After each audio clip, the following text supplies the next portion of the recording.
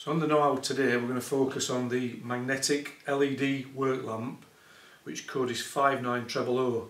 You got the presentation box and inside that you get the lamp itself, you get the carrier for the three AA batteries, the carrier for the lithium battery that is rechargeable, the USB cable and then there's two forms of magnetic clamping and then the instruction manual.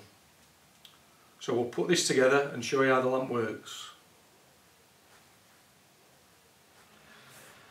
So to use the lamp with the AA batteries, we'll just put the last one in place. There's an arrow on the carrier that shows you that it inserts that way. And we simply turn that into place, thread that on, which hold the batteries and the carrier in place and then we can turn the lamp on and use the lamp as we wish. What we'll do now is we'll show you how to use the lithium batteries. So to use the lithium battery there's a, a battery carrier case and you put the lithium battery in there which is not provided and slide that in as a sleeve with the lithium battery inside and then just connect up again screwing into position and obviously then you can take that out and recharge at your leisure. So to use it with the USB cable, what you need is the carrier that normally takes the AA batteries. This needs to be put in, again using the arrow the correct direction. We can then fasten this on, screw into position.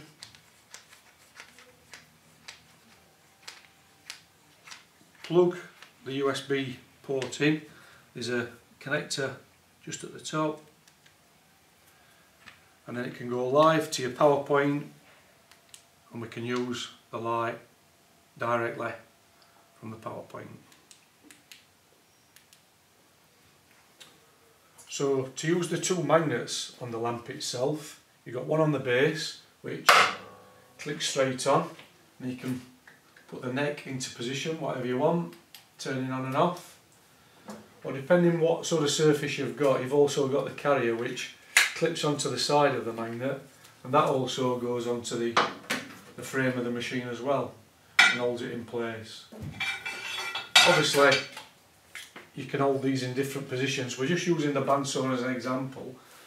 All the people like to come from behind the bandsaw so that you're down onto the blade but that's how adaptable this unit is can be used in any area and like we showed you earlier it can open and close which gives you the, the wider beam or the more direct beam. So I hope that's been helpful. Any questions please come back to us.